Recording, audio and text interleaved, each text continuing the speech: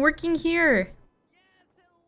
Hello, I'm gonna pass out from starvation. Um, can I get, um, oh.